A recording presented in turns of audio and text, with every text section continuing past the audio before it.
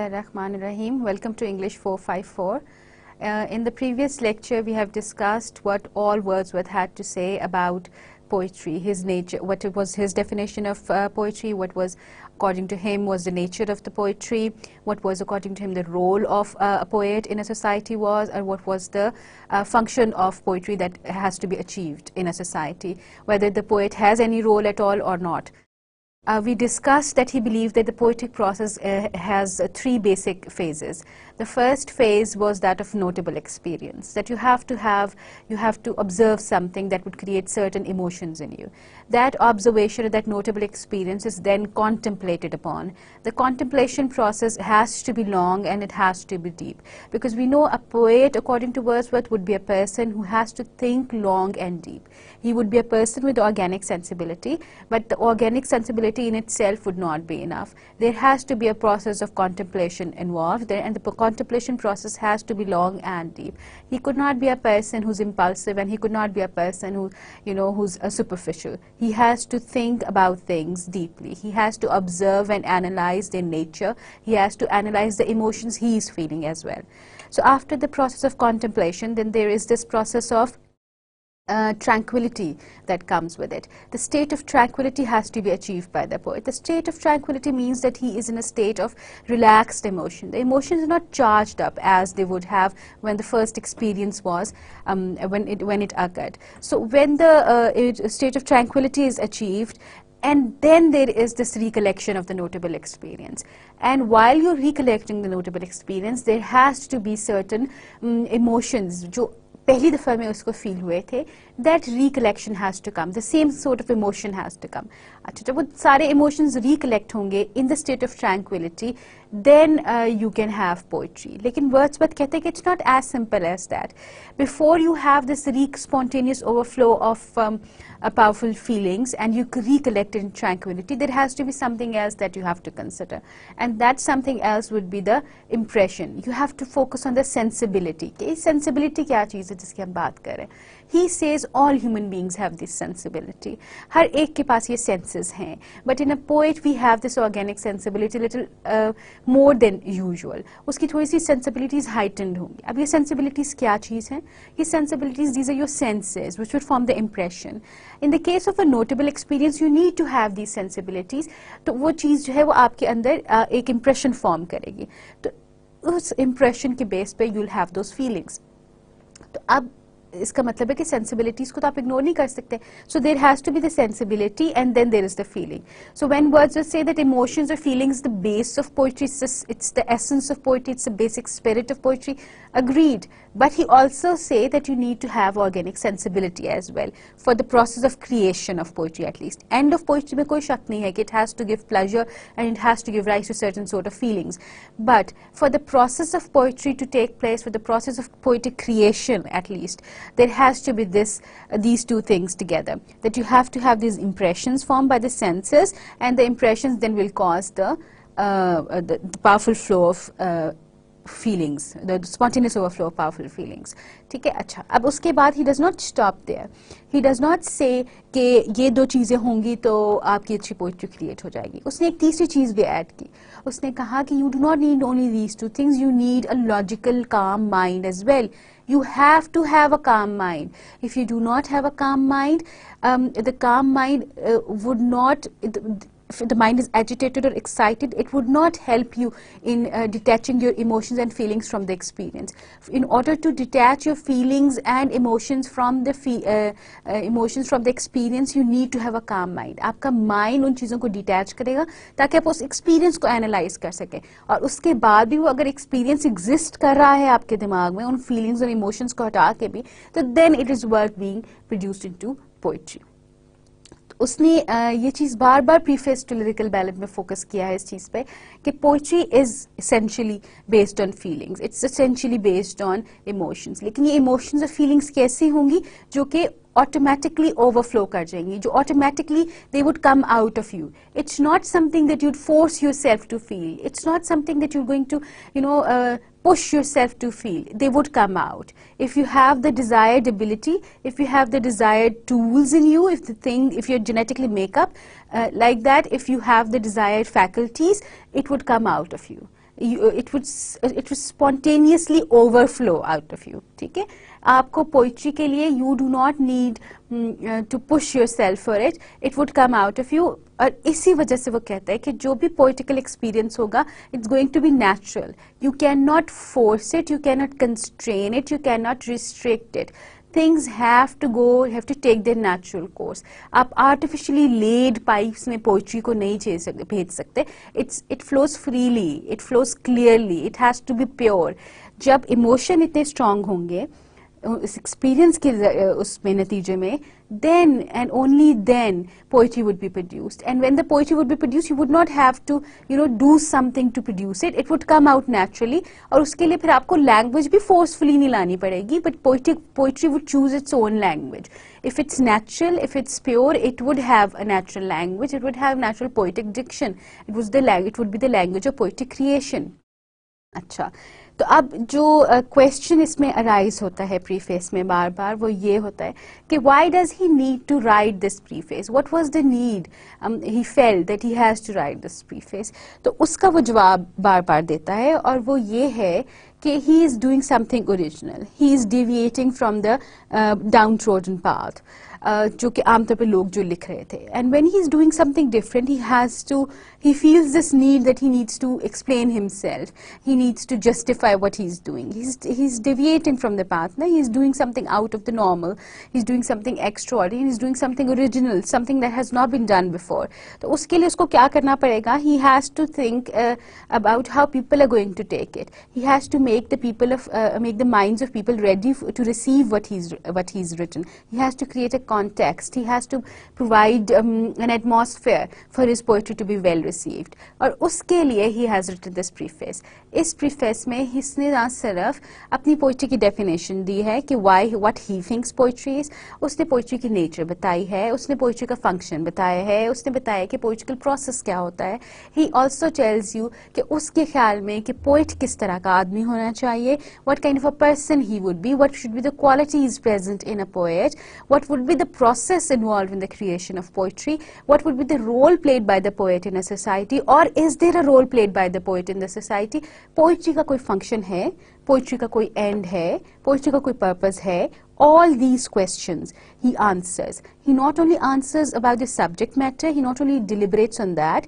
but he also deliberates on the function of poetry as well on the language used by the poetry कि किस तरह की language use होनी चाहिए he also discusses whether there is a difference between the language of prose or poetry he discusses whether there should be a difference between the subject matters of prose and poetry whether the language should be of a special kind whether there should be special words used for poetry, whether there should be special subject matters that can be used in poetry. And are feelings important in poetry? Is there a room for emotion? Is there a room for interpretation? Is it subjective? Is it objective? Everything he discusses, every question that might come into our mind regarding poetry is addressed by Wordsworth when he writes this preface to lyrical ballad वो basically uh, वो taste लोगों का create करना चाह रहा है ताकि लोग उसकी पोइट्री को वेल रिसीव करें ताकि वो जो अचीव करना चाह रहा है इस पोइट्री से वो वो अचीव कर सके.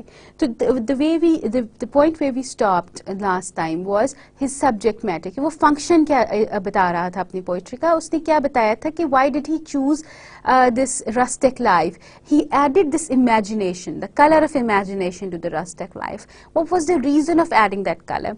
So he says that Wordsworth found some meaning in human life. If human beings lived in close proximity to nature and allowed it, would begin its influence to sink into their soul.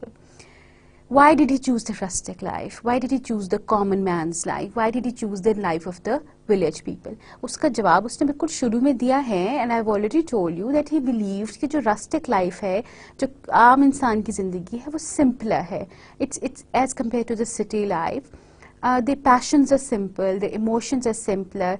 They don't have the ambition, they don't have the greed, they don't have the materialistic inclinations that the people of city would have, of cities would have. So he believes that in order to, that by focusing on the people living in the village or in the countryside, they're going to make things easier for people to understand what kind of uh, uh, uh, what kind of a, what kind of a life should be led, what kind of emotions should people have. So he says that when people live in close proximity to nature, when they live close to the natural inhabitants, when they live close to the streams and the woods and the fields, then they let that nature sink in them. जितनी nature simple है, उतनी उनकी ज़िंदगी simple होती जाएगी।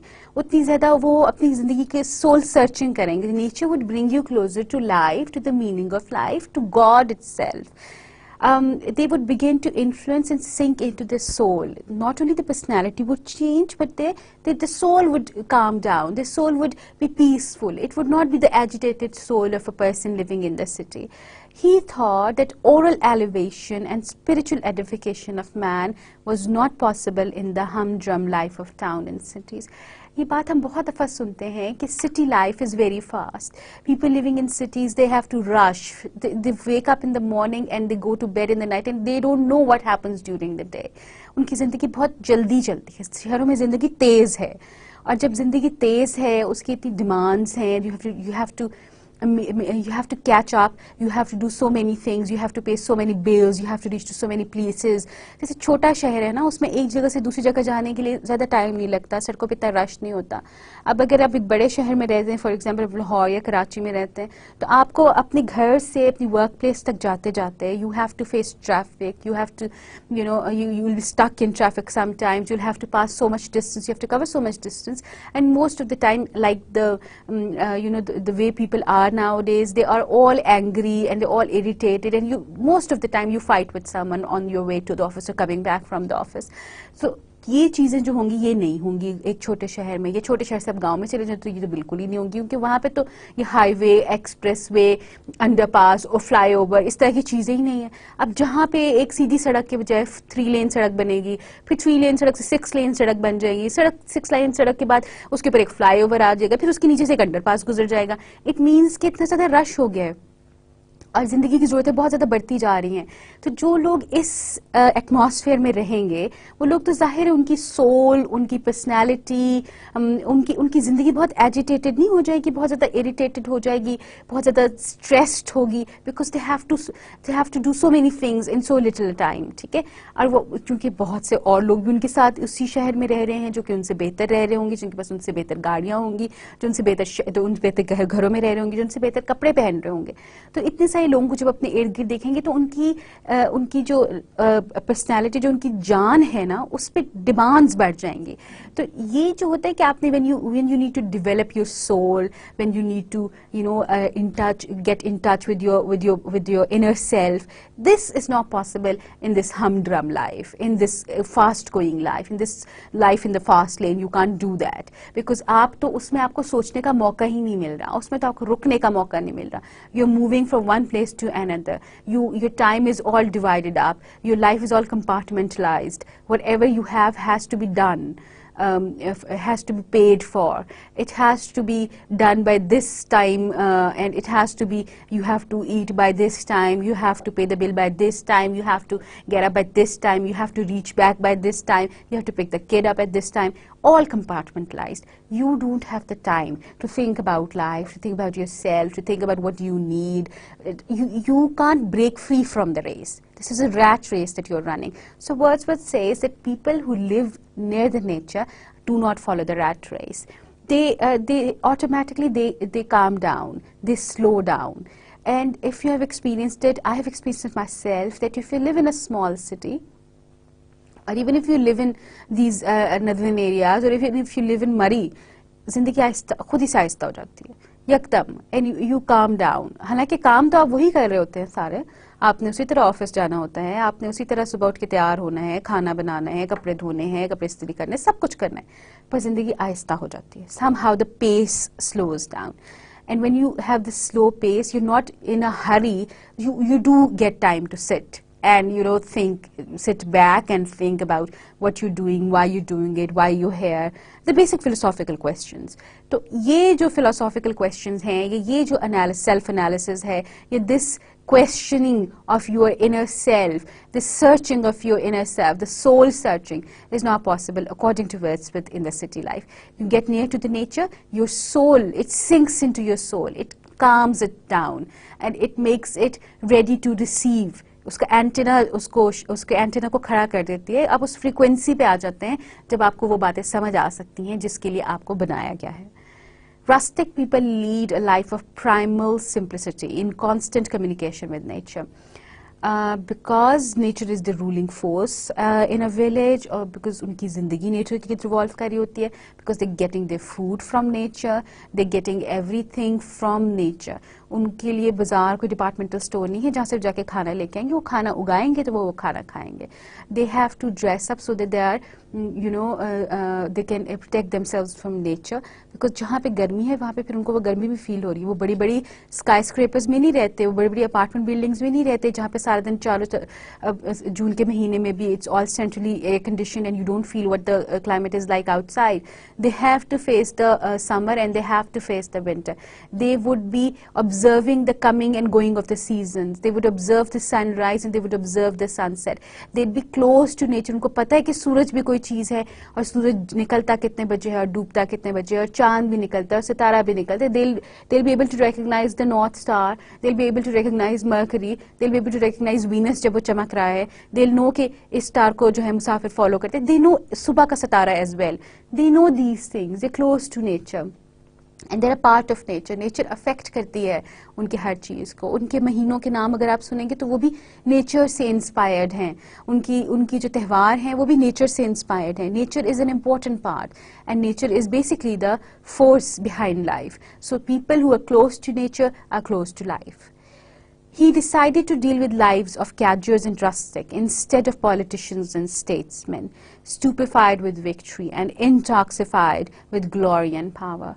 So glory, power, victory intoxicate the man, corrupts it, makes it degenerate. And it, it's something that should be kept away from human being, a human being because it does not benefit a human uh, in any way. So जो आम इंसान है उसके लिए इन चीज़ों की कोई importance नहीं होगी वो इन चीज़ों को इग्नोर करेगा वो इन चीज़ों के पीछे नहीं भागेगा जबकि जो पॉलिटिशियंस हैं स्टेट्समैन है मेंबर ऑफ कौमी असम्बली है या मेंबर ऑफ नेशनल वो क्या कहते हैं uh, क्या कहते हैं प्रोवेंशियल असेंबली है, ये लोग जो है सारे they all running after these things एक इलेक्शन जीतेंगे तो अगले इलेक्शन की फ़िक्र पड़ जाएगी, फिर बेटे को इलेक्शन में खड़ा करना है, फिर बेटे की जो आगे जहाँ पे शादी करनी है, वो ऐसा खानदान होना चाहिए जो कि पोलिटिकली स्ट्रॉन्ग हो it goes on and on and on so वो, उनकी ज़िंदगी इस चीज़ के गिर्द रिवॉल्व करती है they want more glory they want more victory they want more power it's never enough it's never enough for them. The wealth is never enough. The power is not enough.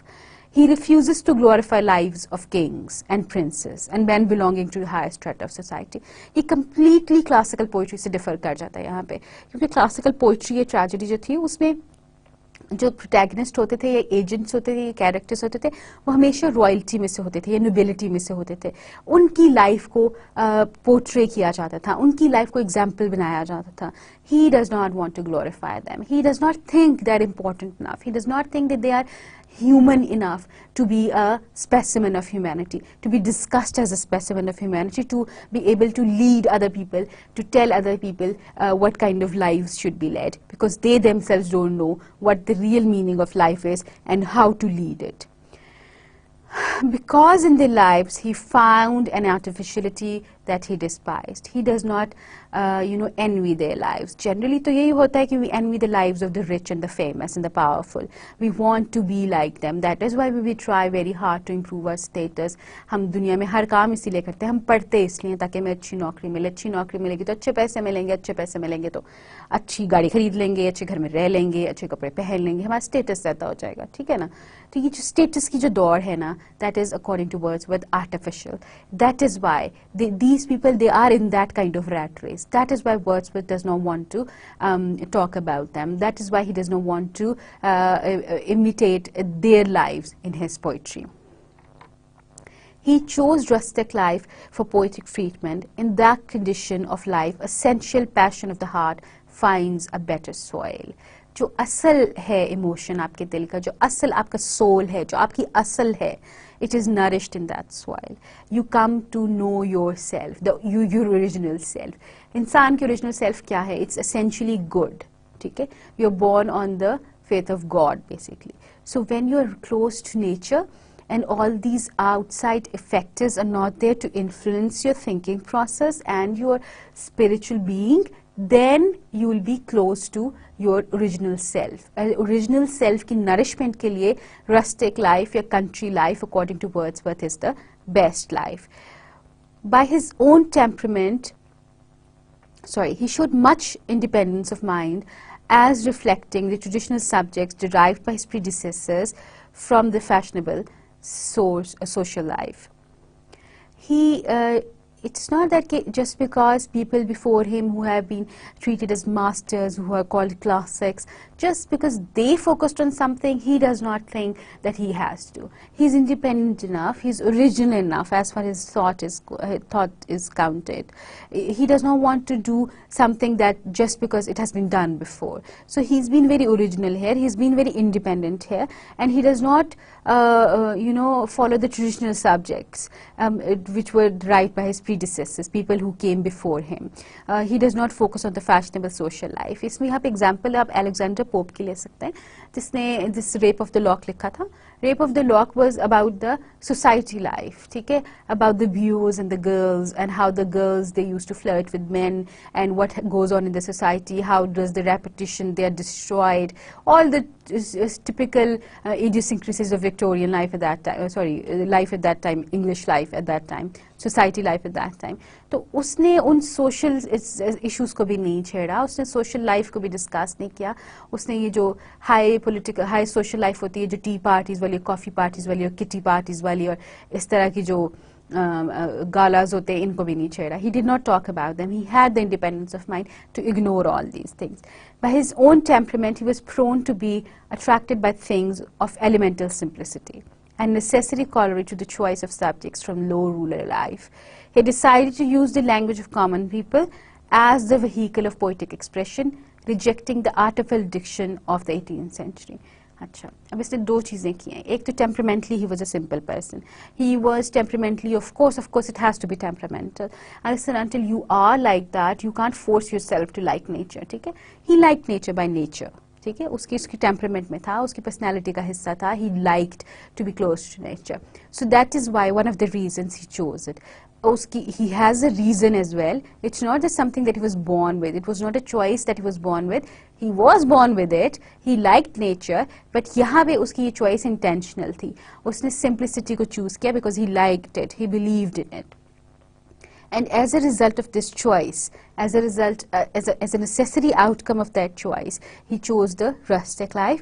और जब उसने rustic life choose की, तो फिर automatically जो life, जो language थी उन लोगों की कॉमन इंसान की जो आमतौर पे कॉन्वर्सेशन के लिए इस्तेमाल करते थे that language became the language of his poetry वो डिक्शन वो हो गई वो जबान हो गई ठीक है it was different from the poetic expression which was use during the eighteen century it was it was very very different from the expression that were use by the ऑगस्टन्स the new classes because they believe in very good language in very scholarly language और वो बड़े ढूंढ ढूंढ के references लाते थे बड़े ढूंढ ढूंढ के एलूजन लाते थे दे use a lot of लिटरी devices they believed in it but words वथ he didn't so he completely uh, you know moved away from it Wordsworth rejected the Guardian and insane um, uh, phraseology of many modern writers. He insisted that his poems contain little poetic diction and are written in a selection of the real language of men in a state of vivid sensation. वो कह रहे हैं कि guarded language use करने की ज़रूरत नहीं। He was against it guarded language बड़े सोच समझ के सिलेक्ट करके वर्ड्स को यूज़ किया जाए। बड़ा सोच समझ के अल्फाज का इस्तेमाल हो कि इस जगह पे ये लफ्ज़ अच्छा लगेगा। इस लफ्ज़ से मेरी इल्मी काबिलियत की धाक बैठ जाएगी। I have to use this word in physiology too much uh, beautiful words, uh, words that words that show that are ostentatious, words that show your power of oration. Uh, oration. It, it, it, these kind of things he he completely uh, disregard. He insists that his poems contain little poetic diction. He does not believe in, you know, uh, making his poems all flowery and beautiful. He does not believe in that. He does not believe in using diction. He does not believe in, you know, language. Diction का मतलब ये है कि वो language जिससे poetry की um, आपके सामने एक खूबसूरत शक्ल आए ही सेज कि उसका सब्जेक्ट मैटर ही इतना इंपॉर्टेंट है और जो फीलिंग्स वो एक्सप्लेन कर रहा है, जो फीलिंग्स वो पोर्ट्रे कर रहा है they are important enough and because of these feelings people are going to enjoy reading the poem वो कह रहा है कि selection of the real language of man in a state of vivid sensation poetry की language ऐसी होनी चाहिए, जो कि आमतौर पे लोग बोलते हों in the state of vivid sensation when they emotions are charge up when they have had this notable experience जो वो नोटेबल एक्सपीरियंस के नतीजे में जो powerful flow of spontaneous flow of powerful emotions है तो वो जो पावरफुल इमोशंस से लैंग्वेज निकलेगी ना that is the language that should be the language of poetic creation Wordsworth defined the employment of metre in poetry as a protest against the use of poetic diction. Uh, whereas in the matter of poetic diction, Wordsworth breaks with the orthodox convention of his days and returned to the natural diction of normal man. Uh, he says that he has used meters, iambic pentameter. He has used it just to show कि जो ये diction use कर रहे हैं language के लिए poetry के लिए he, he is against it or as a result of it he has used the meter which was the meter of the conversation of a common man in a matter of meter he appeals to the tradition the conquering testimony of the ages, he says, has established the laws of meter, and all reasonable people submit to them and acknowledge them as superadded charm. he says that there has to be something. वो verse में लिख रहा है तो he has to follow some sort of rhyme and meter. But he cannot say कि poetic diction जो है वो completely different होनी चाहिए. He says कि meter is something that has been established over centuries. It is something that people have been doing for so many, so, so long. If it has survived so many centuries, so many ages, so many political and literary um, uh, what do you call the movements, then it means that it has some sense in it. So I, will stick to it. I'll stick to meter, but don't expect me to follow the poetic diction of the predecessors. I do not believe in it. I, I will use the meter. I will use the, uh, because it, it, it would add some sort of reasonable charm to it. क्योंकि verse create करने के लिए तो आपको meter चाहिए ही लेकिन वो meter जो है वो एक guarded उसमें होगा meter के लिए मैं poetry नहीं लिखूंगा पोइट्री के अंदर में मीटर ज़रूर ऐड करूँगा, ताकि उसके अंदर वो चाम और वो प्लेजर आ सके जो कि पोइट्री का हिस्सा होता है। Words would say that in his poems he has dealt with great and universal passion of man the most general and interesting of the occupation as the entire world of nature before him words would say उसने अपने poems का, उसका subject matter क्या है? कहता है कि I'm going to you, I'm going to deal with the great and the universal passion of man. And what is the greatest and the universal passion of man? The most general and the interesting of their occupation. Something that is general and something that is most interesting, as the entire world of nature before him the world of nature before him is the best thing that can happen to man. It's something that they would turn to automatic. It would something that would employ their interest. It would be something that would engage themselves. Uh, it would it would be something that that um, uh, man is willing to deal with all the time. It's universal. Every man is interested in nature. It's the greatest of the passion men have. He could have written in prose as well, but he decided to write in meter for the sake of charm. कहते कि nature मुझे इतने inspire करती है कि I can write in prose it would be good enough because nature is such a strong force that it does not required verse for it for for me to depict its charm but I'm writing in poetry for the sake of charm क्योंकि वो उसमें थोड़ा सा ज़्यादा charm add करेगी वो थोड़ा सा मुझे pleasure ज़्यादा देती है I like poetry I like the rhyme and the meter and because of that reason I'm going to write in poetry because poetry is always more attractive than prose. Pleasure is clear from the facts uh, that the poem written on humbler subjects and in more naked and simple language have continued to give pleasure from generation to generation. And this is quite true when we say that uh, Wordsworth has been uh, dealing with very simple subjects and he's been using very simple uh, language. But he's right when he says that कि मैं उस passion से deal कर रहा हूँ जो इंसान की ग्रेटेस्ट पैशन है जो इंसान के लिए यूनिवर्सल पैशन है जो उसकी सबसे बड़ी इंटरेस्टिंग um, ऑक्यूपेशन है उसके लिए, ठीक है? The first and the most interesting occupation and it is because of this these reasons that it is the most general most universal most most passionate passion of human beings that is by कि जो उसने इतने simple subjects पे लिखी हैं poems और इतने आसान लैंग्वेज में लिखी हैं, इतनी नेकेड लैंग्वेज में लिखी हैं, उसको किसी तरह भी उसने फूल पत्ते नहीं पहनाए तो उसके बावजूद भी अगर उसकी पोएम्स को people have been enjoying them from generation to generation. पुरानी बात होगी 1800s की बात है Wordsworth and we still enjoy him. we still enjoy reading about the solitary reaper and we still enjoy reading about the daffodils. So it means that he was right when he say that poet, that nature is the most uh, powerful force. It's the most powerful passion that there is for human beings. While defining the meter, the end of poetry is to produce excitement, to coexistence with an overbalance of pleasure. अच्छा जी and of poetry क्या है pleasure है and of poetry है is to provide pleasure to man whoever reads it so metre क्यों होगा metre क्या करेगा कि वो मीटर उस एक्साइटमेंट को रिस्ट्रेन करेगा उस प्लेजर को रिस्ट्रेन करेगा it's going to add to it as well it's going to restrain it as well. It's going to be the uh, constraining force. It's going to be the compartment. The excitement is an unusual state of mind. In the state of excitement, ideas and feelings do not follow each other in the usual regular order. The expression of ideas and feelings appear to be incoherent. जब आप state of excitement में होते हैं तो आपके ideas और आपकी जो फीलिंग्स होती हैं दे do not follow each other आप इनके फील कर रहे होते हैं और उसी वक्त आपके आइडियाज़ भी आ रहे होते हैं, आप दोनों के अंदर, अपनी फीलिंग्स और आइडियाज़ के अंदर you can differentiate in order to differentiate between your feelings and ideas you need to keep these two things separate you need to have a balance between those two things they do not follow each other in a uh, usual order यानी कि पहले एक idea आएगा और उस idea से feelings generate होंगी या पहले फीलिंग्स होंगी तो फीलिंग्स के बेस पे आप कोई आइडिया जनरेट करेंगे no it doesn't happen like that when your in the state of excitement the things are jumbled up one on top of another and you can not distinguish between these twos कि this is the black and this is the white they become grey fuse हो जाती हैं आपस में। The expression of ideas and feelings they appear to be incoherent जब ये होता है कि वो फीलिंग्स और आइडियाज़ मिक्सड अप होते हैं तो उनका जो एक्सप्रेशन है चाहे वो पोइट्री की फॉर्म में हो चाहे वो प्रोज की फॉर्म में हो वो इनकोहेरेंट होता है।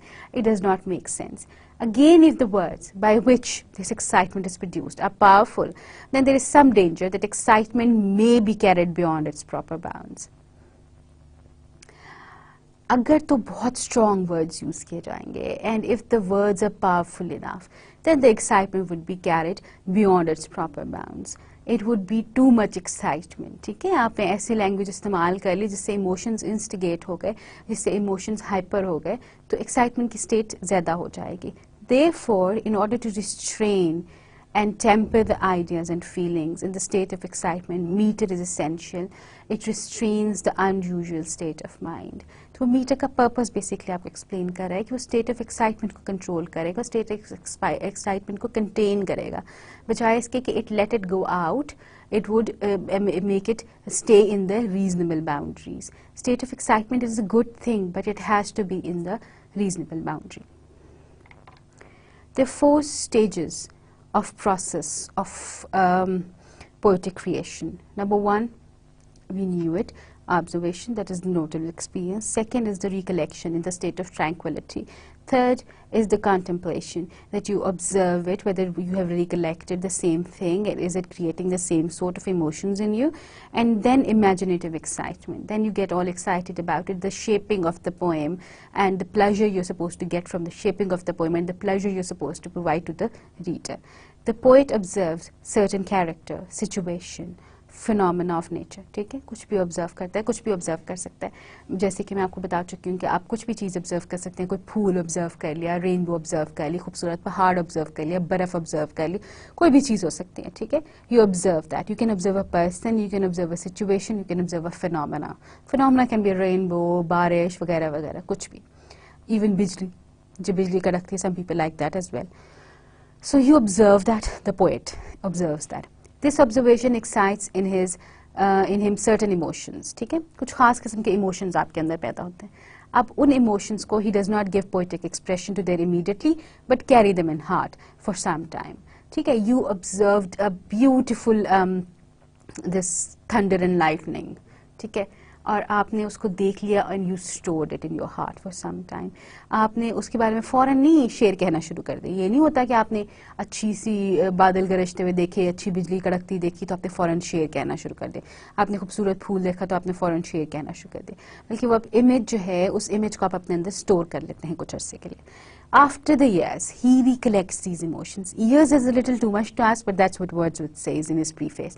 कुछ सालों के बाद he recollects these emotions in tranquility. कुछ सालों के बाद the poet's going to sit back and relax. He's going to be in a calm state of mind, in a calm state, emotional state, and he's going to recollect those images, things that he has seen in his life, contemplates upon them. ठीक है उनके बारे में सोचता है कि what kind of uh, images were they, what kind of feelings did they give rise to, what, what kind of effect did they have on Revive his original e- emotional excitement. ना सिर्फ़ उनके बारे में सोचता है बल्कि वो emotions को रिकॉल करने की कोशिश करता है जो पहली दफ़ा उसने फील किया थे उन चीज़ों को देखने पे ठीक है तो पहला प्रोसेस ऑब्जर्वेशन का है जब उसने किसी भी कैरेक्टर को किसी भी सिचुएशन को किसी भी फिनोमेना को देखा था उसके बाद उसने उस um, उसके अंदर जो सर्टन इमोशंस पैदा हुए थे उसको फॉरेन फॉरेन एक्सप्रेशन नहीं दे दिया उसको फॉरेन फॉरेन पोइट्री के फॉर्म में कन्वर्ट नहीं कर दिया बल्कि he started he started to keep keep on storing these images the next step comes that after years of uh, uh, being of observing he recollects the images that he has collected he contemplates them and he tries to uh, f- uh, to think of the original excitement that he felt when he, for the first time, he observed these images. The emotions thus survived are purged of all that was accidental, temporary, and superfluous. इसका मतलब ये है कि जब उसने पहली दफ़ा चीज़ को देखा था तो if he had some sort of feelings, those feelings could be the result of so many other factors as well. He was in a good mood or a bad mood. He was with the people who li- whom he liked or he disliked. Um, he was, uh, you know, uh, in a different stage of uh, life, which was good or bad. तो ये सारे factors उसकी उस वक्त की पहली दफ़ा के emotions को affect कर रहे हैं जब second time when he's contemplating when he's recollecting those images and he's contemplating and is trying to revive the emotions that he felt this time the emotions that would come back to him, the feelings that would come back to him would be, uh, would be the purest feelings that would be attached to that experience. They would not be the feelings that would be attached to um, some other thing happening in his life at that time. It would be purged, it would be clear, it would be, it would be free of all other elements, all other factors it would not be something accidental, it would not be something temporary, it would not be something superfluous. क्योंकि देखिए, जबकि बहुत अच्छी चीज़ देखी, बहुत खूबसूरत चीज़ देखी तो एक दफ़ा तो जो एक्साइटमेंट की स्टेट है उसमें बहुत ज़्यादा सुपरफ्लोस इमोशंस भी हो सकते हैं। एक्स्ट्रा ऑर्डनरी फीलिंग भी आ सकती है, ठीक है? कुछ अर्से बाद जब आप दोबारा वही चीज़ देखते हो तो आप कहते हैं कि हाँ ठीक है, अच्छी है, अब I like it but it's not that kind of feeling I had at that time so उस वक्त रिकलेक्शन के टाइम पे फीलिंग है that is the true feeling that you have for that thing that you observe the phenomena that you observe the situation that you observe the person that you observe finally this emotional excitement is given poetic expression फिर उसके बाद फिर जब आपने recollect किया और अपने emotions को असेस किया और आपको पता चला कि these are the final emotions I have for this thing then and only then you give it the poetic expression. This is the process of poetic creation which gives joy both to the poet and the reader. अब इस process में भी pleasure involve है और ये process जब ख़त्म हो जाएगा और ये रीडर तक पहुंचेगा तो इसमें भी प्लेजर इन्वॉल्व है you have pleasure, you feel pleasure while you're doing it, and you'll feel pleasure when you're reading about it. And you'll have pleasure because you have given pleasure to someone else. Threefold pleasure, I told you. The nature of the poetic truth. What was it? What, what is poetry? Uh, uh, wh- why is it called the superior of all the sciences and the essence of all knowledge? There has to be a reason for this. Aristotle has rightly said that poetry is most philosophical of writings. अब आप देखिए ये सारे poets जो हैं starting from Aristotle and Plato और um, ये अपना जो वर्ड्सवर्थ है, ये भी यही कह रहा है कि poetry is the highest form of all knowledge essence है नॉलेज का हाईएस्ट आर्ट फॉर्म है। It's greater than the sciences because the sciences can be incorporated in poetry as well poetic truth is higher than the truth of history of philosophy Aristotle ने भी यही कहा Wordsworth भी यही कहते हैं कि जो पोइट्री में ट्रूथ है, जो पोइटिक ट्रूथ है it's higher than that of history of philosophy history of philosophy में बहुत सी चीज़ें उसको इन्फ्लुएंस कर रही होती हैं poetry comes from the heart it comes from with in it is controlled by mind a little and it's controlled by your senses as well so it's something that's the purest human being has to offer its object is truth not individual and local, but general and operative. Something that is universal, something that is true for everyone. It's something that comes from a human being who's above all these uh, limitations of race, creed, nationalism. He's going to speak to uh, as a human being to the rest of the humanity. So the poetic truth is better than the rest of the truths, of the historical truth or the political truth or the philosophical truth. History deals with the particular and philosophy with the universal. But poetry deals with both particular and the universal. ठीक है वो एक बंदे की बात भी करेगी, लेकिन उस एक बंदे की बात करते हुए वो पूरी यूनिवर्स की बात भी करेगी उसका सब्जेक्ट मैटर सिर्फ़ एक इंसान नहीं होगा अगर वो एक इंसान की बात करेगी पोइट्री तो वो डील बेसिकली सारे इंसानों के फीलिंग से कर रही होगी। हिस्ट्री एक पर्टिकुलर इंसिडेंट को डील करेगी। History of England Tudor age की बात अगर आप करेंगे तो सिर्फ़ टूडर एरा के साथ डील कर रही होगी उसके लोगों के साथ डील कर रही होगी। Universal philosophy generally human beings की इंक्लिनेशन um, के बारे में उनकी मेंटल स्टेट के बारे में उनके साइकोलॉजिकल एलिमेंट्स के बारे में डिस्कस करेंगे कि जी इस तरह this is this is truth and this is life and this is the meaning of life this is soul soul is mortal immortal etcetera etcetera इस तरह के क्वेश्चंस को आंसर करेगी एग्जिस्टेंशियलिज्म को आंसर करेगी जनरल होगी यूनिवर्सल होगी poetry has this quality that it is both particular and universal. That is why it is superior than the rest of the things. That is why it is superior than history. That is why it is superior than philosophy because it has both the things. It is particular as well as universal. Poetry aims at the universal truths and also at them through particular examples. Poetry आपको universal truths बताती है वो आपको बताती है कि सच क्या है what is the purpose of your existence and how is it going to tell you by giving you particular examples by teaching through example एक particular example देके एक universal truth बताती है this is why poetry is superior than other things other sciences अच्छा poetry an image of man and nature Wordsworth has stated that poetry is the image of man and nature poetry में इंसान और nature उनकी आपस की relationship how nature influences man and how man influences nature it's just the just an image of that he is not saying that it's an imitation he's not saying that that's what aristotle said it aims at truth to nature at the faithful reproduction of reality it's going to present the truth but it's also going to give, it's going to reproduce the reality. It's not going to be an imitation. Remember, imitation is something else. It's going to reproduce reality. There are many obstacles in the way of historian and the philosopher, whereas the poet has to encounter only one obstacle, and that is the necessity of giving immediate pleasure to a human being. उसका purpose सिर्फ ये है कि उसने फ़ौरन एक pleasure देना है इंसान को उसने बाकी चीज़ों के above he does not have to rise above all the other limitations and restrictions and he does not have to think about his nation and he does not have to think about um, you know the particular uh, uh, particular incident and how is it going to affect the generations to come he just aims at providing pleasure the historian's task is difficult because he has to collect facts from history before interpreting them correctly. वो आपको facts देगा और उसको चाहे सारी सारी history के पूरे पीछे तक जाके फैक्ट्स इकट्ठे करने पड़ेंगे हिस्टोरियन को फिर वो उनको इंटरप्रेट कर सकता है जबकि पोइट के लिए ये करना जरूरी नहीं है Wordsworth has stated that the end of poetry is to impact immediate pleasure. This should not be considered as the degradation of the poet's art. क्या है? कुछ भी नहीं करना, सिर्फ़ प्लेजर देना है। That's so simple that's like you know what you call अमरासी मरासी का क्या काम है? आपको एंटरटेन करना। तो पोइट का काम भी क्या आपको एंटरटेन करना है? This is like degradation this is like you know making them feel low कि बस, इतना छोटा सा तो काम है। इसने तो हमें हंसाना है, इसने तो हमें रुलाना है, इसने तो हमें खुश करना है, ये इसने तो हमें उदास करना है। So that's not a big job this should not be considered as the degradation of the poet's art. It should be rather considered as an acknowledgement of the beauty of the universe and as a homage paid to the dignity of the man.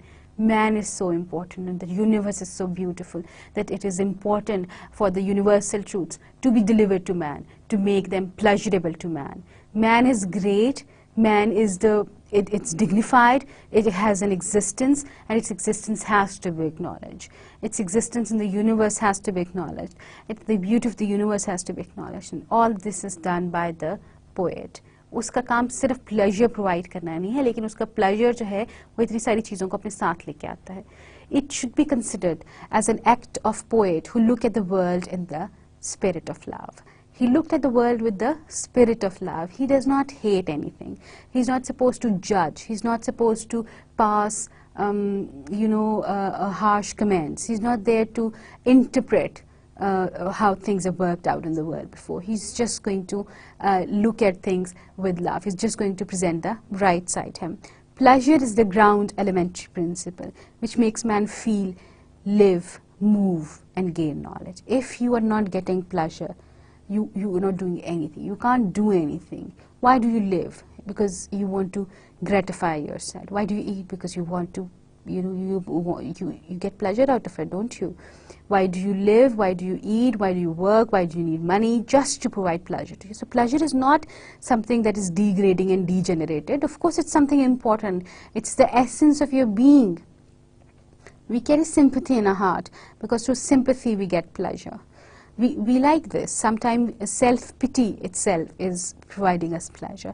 We want to sympathize mm, with someone. Why? We want to do something nice to someone. Why? Because it gives us pleasure. Charity log kyun kar rahe hain? Because it gives them some sort of pleasure. They feel good about themselves when we sympathize with those who are in pain and suffering, we get inner pleasure. ठीक है ना आप क्यों देते हैं सवाब का नाम तो होता ही है लेकिन आपको अंदर से खुशी भी तो मिलती है ना आप you feel satisfied you feel good with your self you feel good about your self you done something nice तो there is some sort of calm that descends upon you. We endeavor to acquire knowledge because knowledge gives pleasure. It does. Once you get used to it, once you get hooked up to it, just like Dr. Faustus did, Marlowe jo play tha Christopher Marlowe when uh, Dr. Faust, he, he was so much in love with uh, knowledge and it gave, it gave him so much pleasure that he was ready to sell his soul to get all the knowledge necessary, all the knowledge in the world. Okay? So why do you get knowledge? Why do you learn things? Because it gives you pleasure, you feel good. Why do you read books? Because it makes you feel good. Pleasure is not something to look down upon. Pleasure is not something base. Pleasure is not something uncouth something it's the it's the core of your existence you're created this way you, you're born this way अल्लाह ने आपको बनाया ही इसलिए है आप आपकी आपके आपका ये असल है आपकी जिबिल्लत है आप you it's your instinct you need pleasure you you enjoy this pleasure so why feel or why degrade a poet just because the end of poetry is to provide pleasure Wordsworth says they do not look, look down upon a poet just because the end of poetry, according to Wordsworth, is to provide pleasure. Pleasure is the basics of a human being. The poet studies man in his, his in his ordinary life. Um, he studies elemental nature, instincts and impulses of man. This is no small subject. You're supposed to study an entire human being. And human beings have so many various shades. They have so many uh, different sides. They have so many different angles to look at.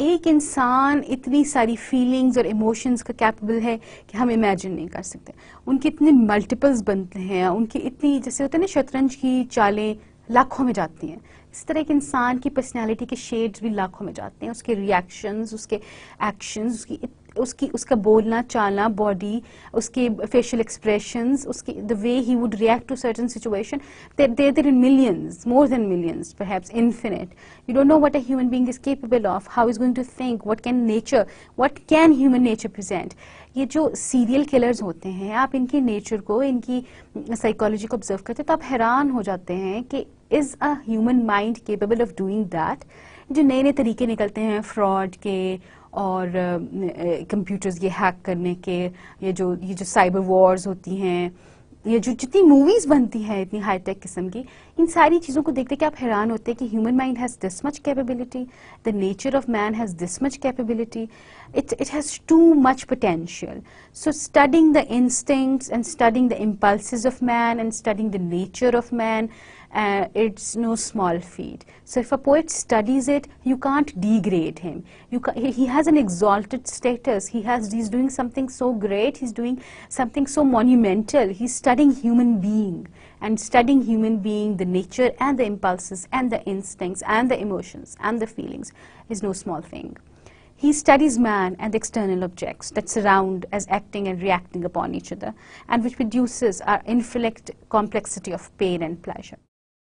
इंसान जिस दुनिया में exist कर रहा है उसके आगे पीछे जितनी चीज़ें हैं वो चीज़ें एक दूसरे के साथ कैसे रिएक्ट कर रही हैं वो चीज़ें इंसान के साथ कैसे रिएक्ट कर रही हैं how the human being is reacting to those things what kind of this web, this complex web of pain and pleasure is created as a result of this action and reaction, as a result of this interaction between the world and the human being. The poet studies that. It studies what the world is made up of and how the human being interacts with this world and the universe around him. It, it is an intricate web. It's not something simple. It's not just a matter of giving pleasure. For giving that pleasure, he has to make this much study. He has to understand this much data. He studies man with the complex ideas and sensations and convictions, institutions and deductions.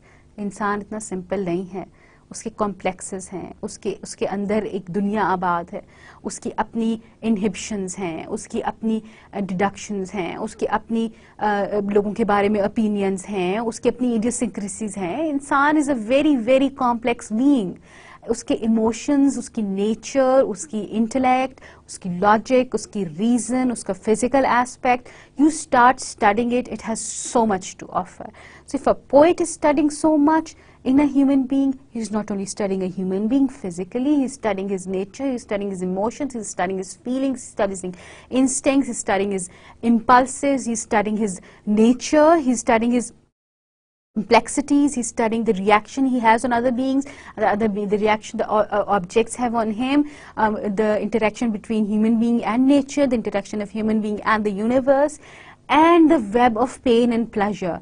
So much stuff it's not something small. It's not something trivial just providing pleasure. No don't look down upon the poet. It's not just providing pleasure. It has a lot to do. It has a lot to study for. Through his sympathy with objects of nature, that is, gains the knowledge which ultimately result in an overbalance of enjoyment. He studies nature, he studies all these things, and as a result of it, he provides enjoyment. He, this understanding of nature provides enjoyment to the man. There's, a part in preface to the lyrical ballad where he discusses uh, the poetry and science, the relationship between poetry and science, where the science is superior, the poetry is superior. We know his answer. We know he believes that poetry is to be superior than the rest of the sciences or philosophies or histories, whatever. Wordsworth states that the poet, prompted by the feelings of pleasure, converses with the affections and with general nature. ठीक है अब उसने क्या उसका issue uh, क्या है कि उसने प्लेजर देना है जो वो प्लेजर प्रोवाइड uh, करना चाहेगा तो ही is going to converse with the nature and he is going to converse with the affections he is going to be all नाइसी नाइसी The scientist who work hard in the search for truth also finds pleasure in truth. ठीक है You'll find pleasure in nature when you want to provide pleasure to someone. When you're in search of pleasure, in search of providing pleasure, you you'll have pleasure. ठीक है अब जो poet है वो तो nature में pleasure ढूंढ रहे हैं. Scientist जो है he would have some kind of pleasure as well. When he's in search of truth, he would have pleasure. He would enjoy finding the truth. ठीक है oh, um, this person जिसने penicillin बनाई थी Sir Alexander Fleming. He says that we scientists we we dance a dance in the labs. ठीक है और हम वो डांस करते, जैसे दरवेश नहीं है, रूमी के, जैसे वो घूमते हैं उस तरह घूमते रहते हैं लैब्स में।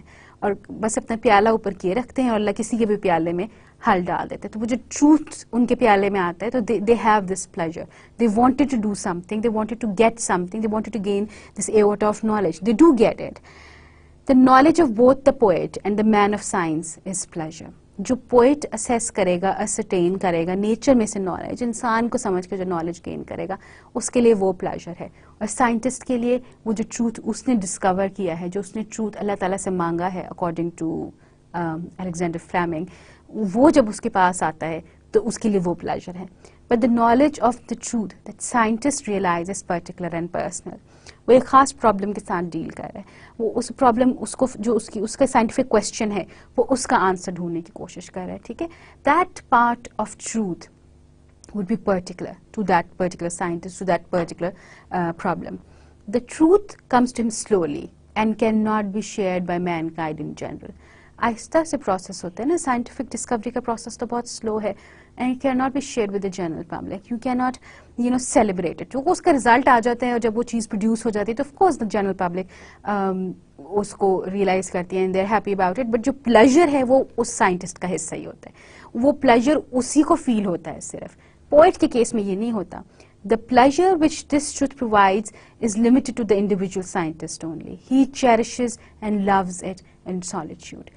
जो उसने डिस्कवरी की ना, जो उसको प्लेजर उससे हासिल, वो साइंटिस्ट को ही हासिल हो रहा है। उस डिस्कवरी का जो प्लेजर है, वो हम फील नहीं कर सकते।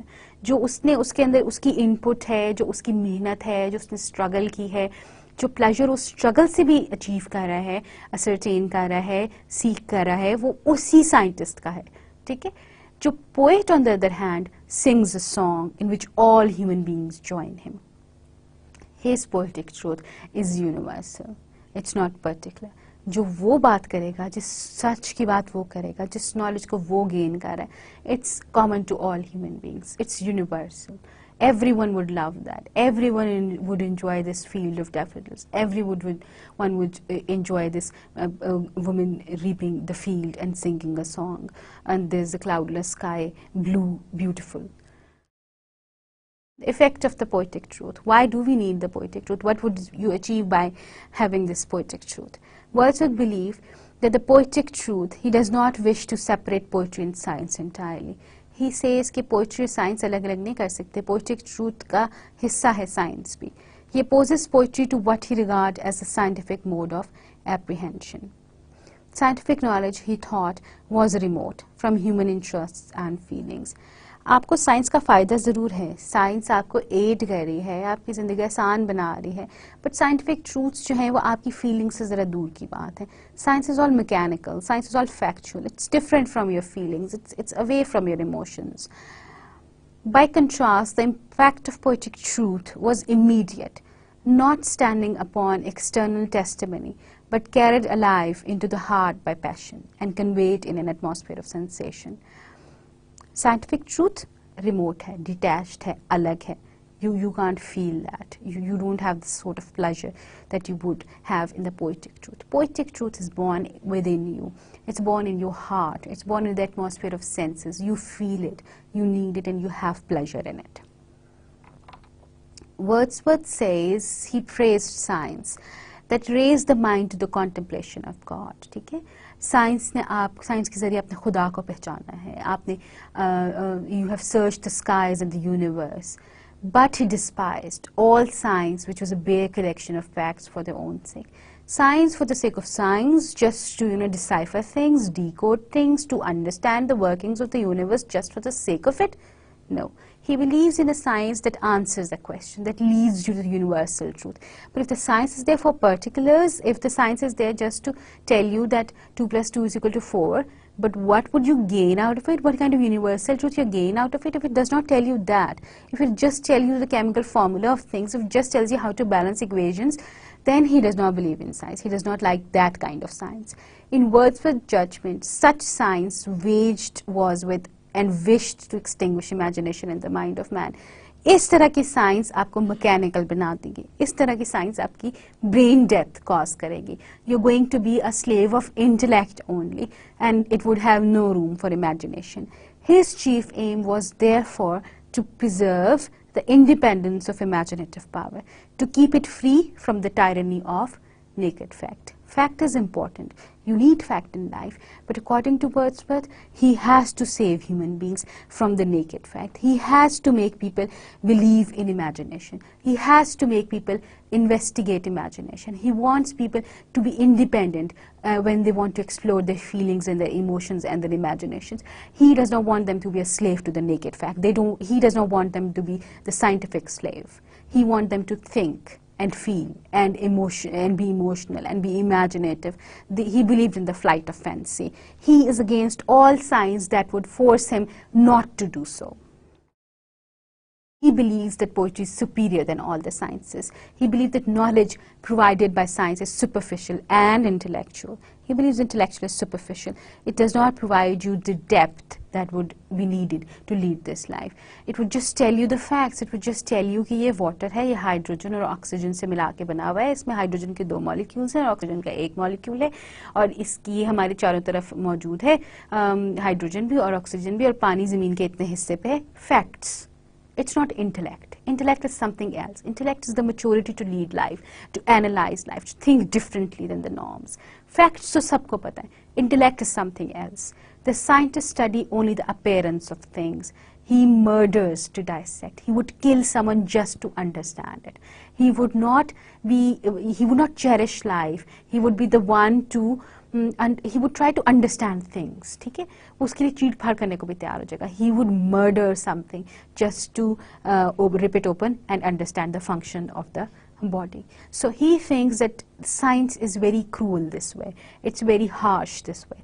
The poet, on the other hand, studies the inner reality of the man the soul of the man ठीक है पोइट्री जो है वो डेप्थ में है क्योंकि पोइट तो according to Wordsworth is a person who thinks long and deep it's person who has depth is a pensive person ठीक है? तो वो कहता है साइंटिस्ट जो है, वो तो चीज़ों को सरफेस पे ले रहा है, वो चीज़ों को सुपरफिशियली डील कर रहा है, वो चीज़ों के रूल्स और फैक्ट्स पे सिर्फ़ फोकस कर रहा है। जबकि पोइट जो है it's going to focus he is going to focus on the depth he is going to try and study the soul of man ये जो बात अभी हमने थोड़ी देर पहले की है कि पोइट्री का purpose प्लेजर देना है but giving pleasure is not that easy for the sake of giving pleasure, you need to understand man, and a man has so many shades. The inner reality of man that he discovers is charged with feelings and emotions too much material inside a man, not physically, emotionally as well, psychologically as well. Wordsworth see organic unity between man and nature. They're the same thing. Man is nature and nature is man both man and nature are part and parcel of God and both of them are a part of God. Allah ताला ने create किया है nature को भी और इंसान को भी इनकी बेसिक क्वालिटीज एक जैसी हैं they are a part of each other the realisation of this universal truth gives pleasure to the heart and to the mind well you realise it आपकी लॉजिक भी सेटिस्फाई होती है और आपके इमोशंस भी सेटिस्फाई होते हैं कि you are a part of nature and the nature is a part of you and both of you are part of the biggest being of all, the God. And when you realize this truth, and poetry and poetry alone would help you um, get to this truth. Science would not help you achieve this goal. It would not tell you how to understand God. It would maybe lead you to the fact that God exists. It maybe leads you to the fact that um, there is a power that controls everything. It might tell you a few more things, but it would not lead you to believe this. अच्छा फिर जो issue था Wordsworth के साथ वो आ गया था subject matter of poetry का जो नेक्स्ट चीज़ उसने एक्सप्लेन करनी थी अपने प्रीफेस में so Wordsworth considered that man is the most suitable and fit subject of poetic composition, and he felt that if a poet did not leave behind a proud record of creative work dealing with the human life, he wasn't worthy to be ranked among the first-rate poets. He believes that man has to be the subject of the poetry. And if he thinks that a person, a poet, has not written enough about man, if man has not been, in, been the um, main uh, topic of his poetry, then that poet does not deserve to be ranked as, uh, uh as a poet, as one of the greatest poets. So he believes that insan jo important hai, humanist approach thi. So for his poetic inspiration, he turned to man.